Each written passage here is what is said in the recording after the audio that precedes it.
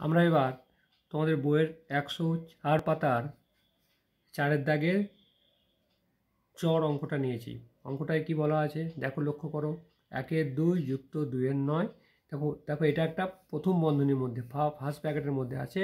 তারপর বিযুক্ত চারের পনেরো যুক্ত পাঁচের আঠেরো। যখন আমরা এই ধরনের অঙ্ক দেখব, যেখানে বন্ধনীর ব্যবহার হয়েছে সেখানে আমরা বন্ধনীর ভেতরের কাজগুলো আগে করব। অর্থাৎ এখানে যে প্রথম বন্ধনী দেওয়া আছে, প্রথম বন্ধনীর ভেতরে দেখো একটা দুটি ভগ্নাংশের যোগ করা আছে। তাহলে আমরা এই যোগটাকে প্রথমে করব।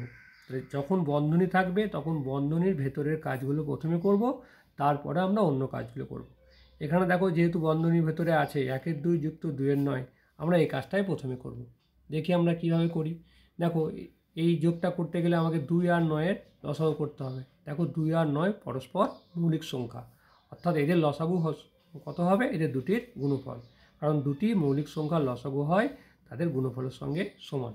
তাহলে দুই আর নয়ের গুণফল কত হয়? আমরা জানি দুই আর নয়ের গুণফল হয় আঠেরো। এখানে আঠেরো লসাগু হবে। দেখো তারপর সে আগের নিয়মই আমরা এখানে কত হবে? আঠেরোর সঙ্গে আমরা দুইকে ভাগ করব। দুইকে ভাগ করলে কত হচ্ছে? নয়। তাহলে এক গণিত নয়। আবার দেখো নয়ের সঙ্গে দুই হয়, তো দুই গণিত দুই। বন্ধনীটা দিতে হয় প্রথম বন্ধনীটা, তারপর যেভাবে যেটা আছে সেটা আমরা সেইভাবেই লিখে আমরা দেব। দেখো, নয়ের সঙ্গে এক গুণ করলে নয়, আর দুইয়ের সঙ্গে দুই গুণ করলে চার। আঠেরো। আবার প্রথম বন্ধনীটা দিয়ে দেবো। চারের পনেরো যুক্ত পাঁচের আঠেরো। এবার দেখো আমার নয়ের সঙ্গে চার যোগ করে হচ্ছে কত? তেরো। তেরো বাই আঠেরো। দেখো আমরা এই ব্যাকেটের মধ্যে যে কাজটা ছিল সেই কাজটা কমপ্লিট করে ফেলেছি অর্থাৎ সম্পূর্ণ করে ফেলেছি। তখন কিন্তু আমার শেষে আর ব্যাকেট দেওয়ার আর দরকার পড়বে না। অর্থাৎ এটা হলো কত? তেরো আঠেরো যুক্ত চারের পনেরো যুক্ত পাঁচের আঠেরো। ঠিক আছে? এবার দেখো। এবার কিন্তু আমার আগের অঙ্কটার মতো চলে এলো। এখানে ভগ্নাংশের যোগ আর বিয়োগ একসঙ্গে করতে বলা আছে এসব অঙ্ক আবার সে আগে নিয়মে করব আমরা। আঠেরো, পনেরো আর পনেরোর আমার দেখো এখানে দুটি আছে, আঠেরো, পনেরো, আঠেরো। অর্থাৎ আঠেরো আর পনেরোর আমাকে লসাগু নির্ণয় করতে হবে। দেখি নির্ণয় করি আমরা। দেখো তিন দিয়ে যাচ্ছে। দেখো এখানে আমরা তিনটে সংখ্যা থাকলেও এখানে দুটো বর্ণ লিখছি, কারণ দুটি আলাদা আলাদা আছে। এটা নিয়ম হলো আমার, যতগুলি আলাদা আলাদা হর থাকবে, সেগুলি লসাগু করতে হয়। যেহেতু আঠেরো দুবার আছে, কিন্তু আমরা সেখানে আঠেরোটা একবারই লিখব। ঠিক আছে? আলাদা আলাদা সংখ্যার লসাগু করব। তো তিন দিয়ে করলে কত হচ্ছে? তিন ছয় আঠেরো।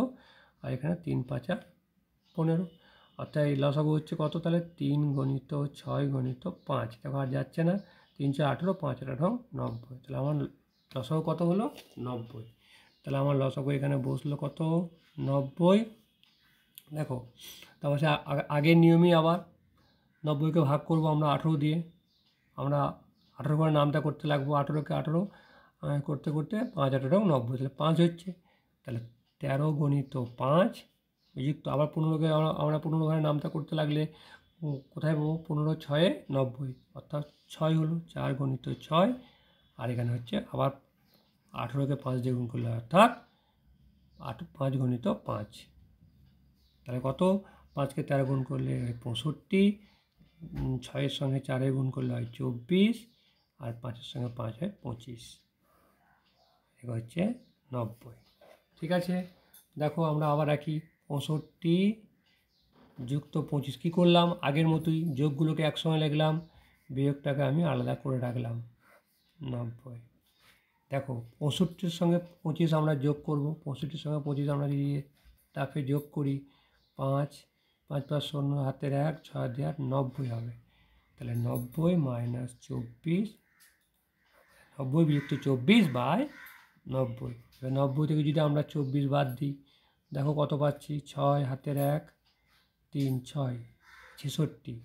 আমরা পেলাম ছেষট্টির নব্বই পেলাম। দেখো, আমরা পেলাম ছেষট্টি নব্বই। ঠিক আছে? তাহলে ছেষট্টি, নব্বই দেখো, এটা দেখো আবার আমাদের কাটাকাটি যাচ্ছে এটা আমরা আমরা এটা কিন্তু কাটতে পারব। কারণ এটা কি?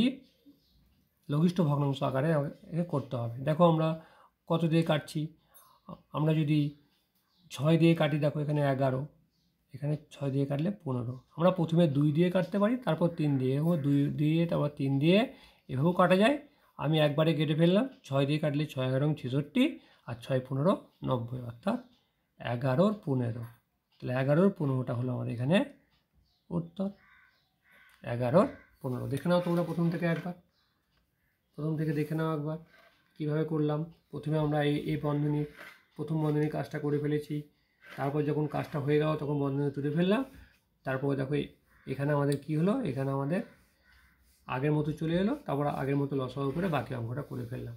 তারপর শেষে এটাকে লঘিষ্ঠ আকারে করলাম। লঘিষ্ঠ আকারে করার ক্ষেত্রে বললাম যে, আমরা এখানে প্রথমে ছেষট্টিকে দুই দিয়ে কাটতে পারতাম বা তিন দিয়েও কাটতে পারতাম। কিন্তু আমরা একসঙ্গে কেটেছি ছয় দিয়ে। তারপর উত্তর এসেছে, শেষে এগারো বাই পনেরো।